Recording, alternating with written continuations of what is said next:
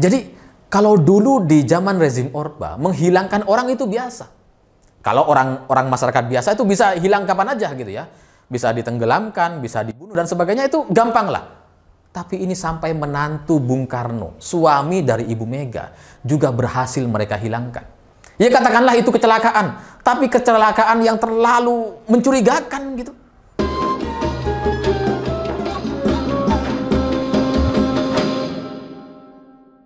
Selamat malam semuanya. Akhirnya kita ketemu lagi setelah libur panjang Hari Raya Idul Fitri yang sebenarnya dalam seminggu terakhir ini ada banyak sekali isu yang menarik untuk dijadikan konten. Tapi karena ini libur lebaran, libur Hari Raya Idul Fitri dan semua tim produksi Siwo TV itu muslim-muslimah, jadi emang liburan kali ini gak bisa diganggu gugat. ya karena mereka semua mudik, lagi lebaran bersama keluarga, saya juga mudik baru sampai sampai hari ini di rumah baru balik gitu. Jadi emang nggak bisa bikin konten. Padahal seminggu terakhir ini ada banyak sekali isu menarik untuk dijadikan konten. Tapi dari semua isu terkait Capres 2024 ada satu nyelip satu isu yang bikin saya gemes sekali untuk bikin gitu ya. Bahkan saya rasanya pengen bikin dari tiga hari yang lalu gitu.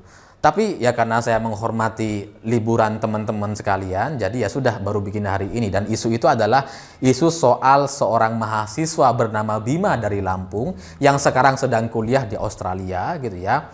Itu dalam satu video dia terlihat menghina Ibu Megawati dengan sebutan janda. Ya karena waktu itu di video itu ada Mbak Najwa bertanya kepada Ganjar gitu ya, apakah ini ada instruksi Ibu Ketum terkait uh, Piala Dunia U20 gitu ya. Dan Bima itu kemudian merespon kira-kira begini dia bilang. Lagian disuruh ngomong sama janda, janda satu itu lo nurut. Aduh. Bahasanya emang kayak gitu, agak-agak mardani. Jangan-jangan dia PKS juga.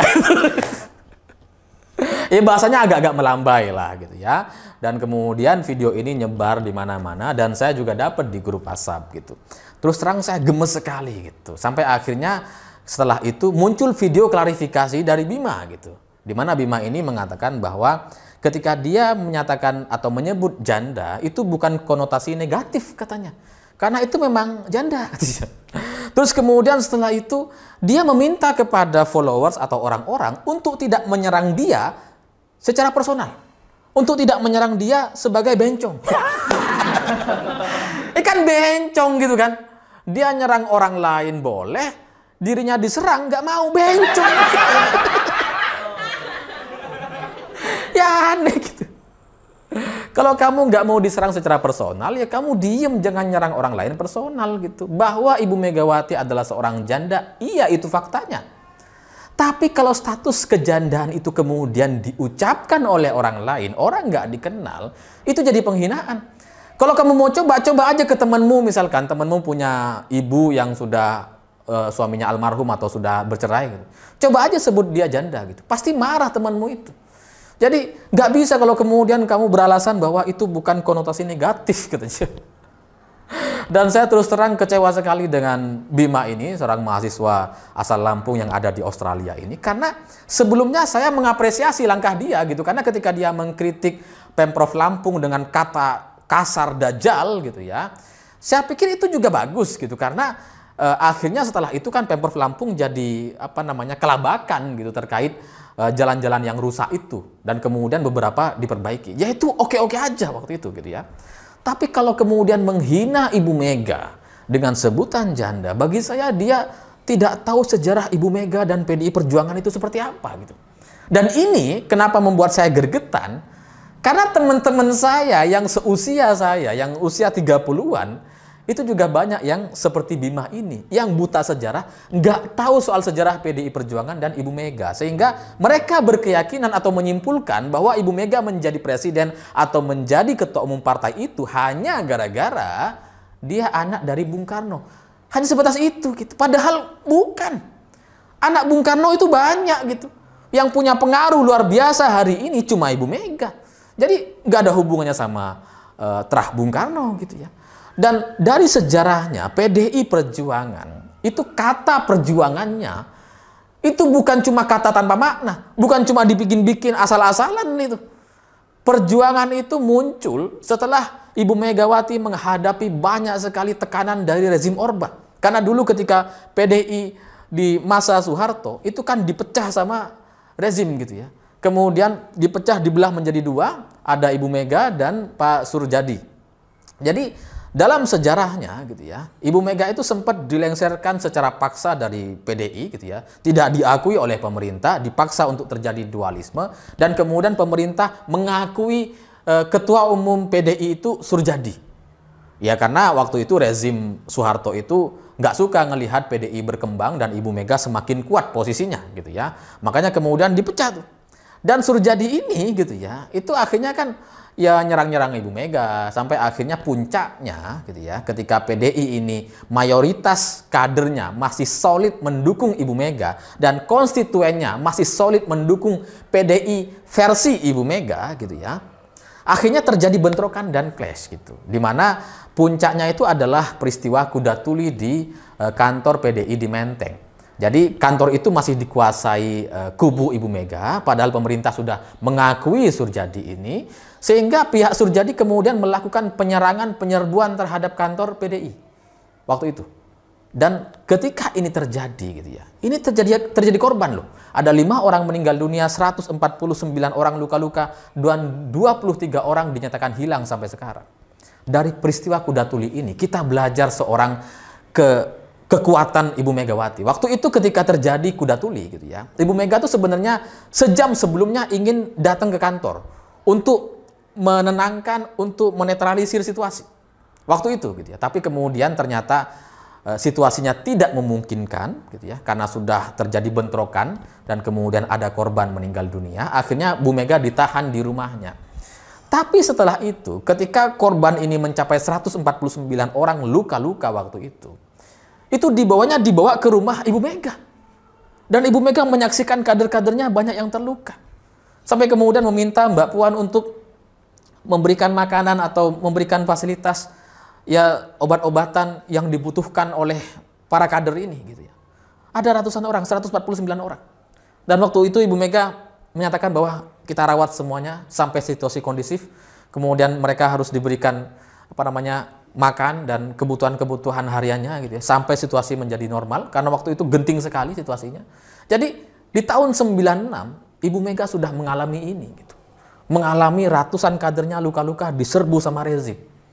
Jadi kalau sekarang ada anak muda tiba-tiba menyebut Ibu Mega itu jadi ketum hanya karena uh, anak Bung Karno dan sebagainya gitu ya. Dia nggak ngerti sejarahnya gitu bahwa kata perjuangan di PDI PDIP itu itu bukan kata bukan kata tanpa makna, tapi itu benar-benar makna perjuangan seorang Ibu Megawati untuk membangkitkan PDI di rezim Orde Baru gitu. Jadi kalau sekarang kita lihat kader-kader PDI gitu, itu kan nggak mau menyebut PDIP. Kalau kita lihat Pak Hasto, Mbak Puan, Adiana Pitupulu, Mas Budiman gitu ya, selalu mereka bilang PDI Perjuangan, PDI Perjuangan. Karena perjuangan itu benar-benar perjuangan bagi mereka, nggak bisa disingkat gitu. Makanya mereka tulis PDI perjuangan tetap, bukan PDIP gitu. Jadi kalau kalian sekarang tiba-tiba ada anak muda menghina-hina Ibu Mega sedemikian rupa, ini pasti nggak tahu sejarahnya ini. Sejarah bagaimana Ibu Mega membangkitkan PDI Perjuangan waktu itu yang sudah dipecah oleh rezim Orba gitu. Dan selain itu kalau kalian ada orang bilang janda kepada Ibu Mega tanpa rasa bersalah bagi saya itu fatal sekali, sangat fatal sekali. Ya katakanlah cerita soal kuda tuli atau penyerbuan terhadap kantor PDI Perjuangan itu adalah sebuah cerita politik, cerita partai, tidak personal kepada Ibu Mega, tidak ada hubungannya dengan kejandaan Ibu Mega. Katakanlah seperti itu. Oke, kita bisa terima gitu. Tapi kan kalau kita bisa membaca gitu, bagaimana kekuatan Ibu Mega waktu itu.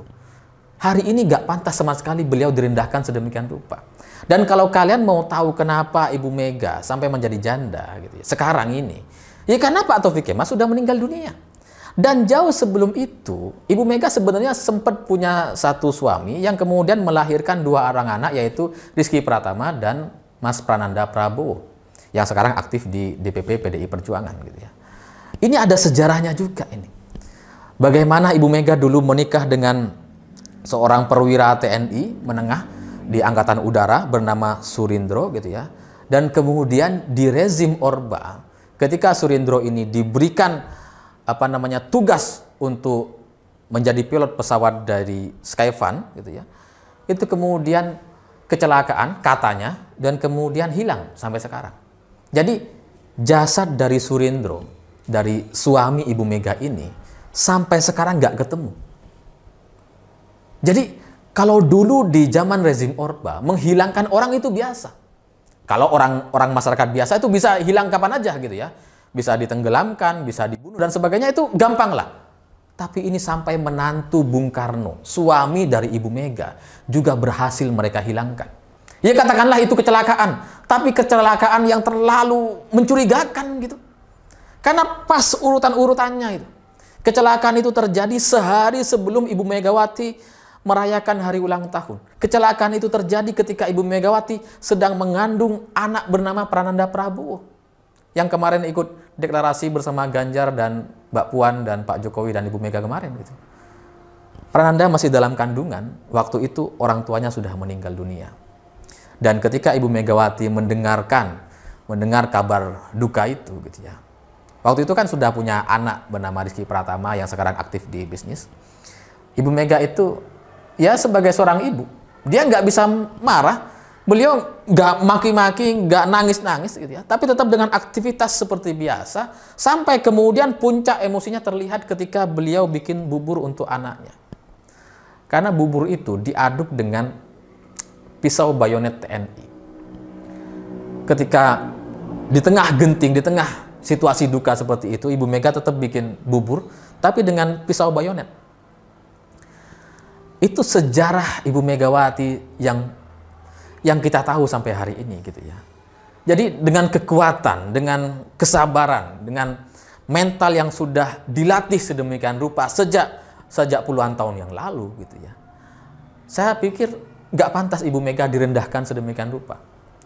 Kalau Bima sekarang bicara atau merendahkan Ibu Mega dengan sebutan janda, mungkin gampang saja bagi dia, bagi mulut dia tuh gampang gitu. Tapi kalau dia diuji dengan ujian yang diterima oleh Ibu Mega, saya pikir dia nggak akan bisa hidup itu. Jangan-jangan mati berdiri itu. Minimal gila lah gitu ya. Karena luar biasa gitu. Mental yang dimiliki oleh Ibu Mega itu luar biasa sekali gitu. Dan itulah sejarah kenapa Ibu Mega kemudian setelah itu tidak punya suami gitu ya. Dan di tengah-tengah situasi yang begitu genting itu, beliau tetap normal untuk bikin bubur, bubur, bubur untuk anaknya. Meskipun dengan pisau bayonet gitu. Jadi kalau Bima sekarang e, dengan entengnya menghina Ibu Mega gitu ya, itu itu nggak sebanding, nggak akan pernah sama gitu. Jangankan diuji dengan hal yang seperti itu gitu ya. Bima didatangi didatangi ke Pols, Polsek ininya apa namanya orang tuanya ditanya dan diverifikasi benar nggak Anda ini orang tua dari Bima dia udah termehek-mehek itu. Apalagi diuji sama jalan hidup seorang Ibu Megawati. Gitu. Jadi kalau sekarang anak-anak muda dengan entengnya bilang Ibu Mega itu beruntung karena lahir dari seorang Bung Karno. Mereka nggak tahu 32 tahun Soeharto berkuasa, 32 tahun rezim pemerintah ini semena-mena terhadap keluarga Bung Karno dan Bung Karno sendiri. Terus kalian mau sekarang mau bilang bahwa Ibu Mega beruntung kalau bukan siapa kalau bukan anak Bung Karno, dia nggak bisa jadi siapa-siapa. Kata siapa gitu. Jadi terus terang saya sebagai apa ya, sebagai sama anak muda gitu ya, yang paham sejarah ini gitu ya. Saya ngerasa bahwa Ibu Mega tidak pantas untuk dihina seperti itu. Dan saya yakin ada banyak orang nggak tahu bahwa dalam sejarahnya Ibu Mega pernah mengalami cerita yang sekelam, yang sedramatis itu. Yang suaminya meninggal kecelakaan satu hari jelang apa namanya hari ulang tahunnya gitu ya. Kemudian partainya diserbu, kadernya luka-luka, ratusan orang luka-luka diserbu oleh rezim. Itu bukan sesuatu yang biasa aja, itu luar biasa gitu. Kalau sekarang kita bisa bicara tentang banyak hal gitu ya. Karena ya gampang aja ngomong gitu. Kalau kita mau pencitraan, kita mau ngomong itu gampang. Sejam kita bikin selesai gitu. Tapi sejarah yang dilalui oleh Ibu Mega tidak akan pernah sama dengan orang lain. Sehingga kalau kita tahu sejarah Ibu Mega kehilangan suaminya, maka semestinya kita tidak pernah sampai hati untuk menyebutnya seorang janda. Untuk mengata-ngatainya janda. Pasti nggak akan sampai hati gitu. Karena dengan sejarah yang begitu getirnya, masa iya kita tega gitu ya. Jadi orang-orang seperti Bima dan anak-anak muda yang lainnya gitu ya. Kalian nggak suka dengan Ibu Mega terserah gitu ya. Kalian mau mengkritik PDI Perjuangan dan pemerintah Indonesia silahkan, nggak apa-apa. Tapi kalau menghina personal seorang Ibu Mega, ini menurut saya nggak bisa dibiarkan gitu ya. Mungkin kader-kader PDI itu ya terbiasa dengan ini. Mereka dipaksa sabar, dipaksa tabah, belajar dengan ketabahan seorang Ibu Megawati gitu ya. Mungkin mereka bisa, tapi orang-orang yang lain saya pikir nggak akan ada yang mau terima soal ini gitu. Sehingga bagi saya untuk Bima gitu ya, sebelum kamu ngata-ngatain Ibu Mega, coba belajar tuh sejarah perjalanan Ibu Mega seperti apa. Kalau kamu mendapatkan tekanan, ujian dan cobaan yang sama seperti Ibu Mega, saya kok yakin kamu mati berdiri saat hari ini gitu ya. Ya karena kamu bicara aja melambai. Apalagi diberikan tekanan. Didatengin ke polsek aja langsung ke mehek kok gitu ya.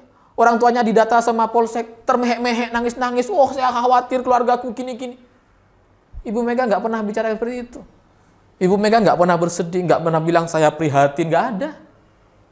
Karena ketabahan, kekuatan, dan kesungguhan dan keyakinan beliau atas perjuangan itu yang tetap beliau pegang sampai hari ini gitu. Jadi sebelum Bima atau mahasiswa, adik-adik mahasiswa yang lain bicara sembarangan soal Ibu Megawati, bagi saya kalian harus lihat sejarahnya.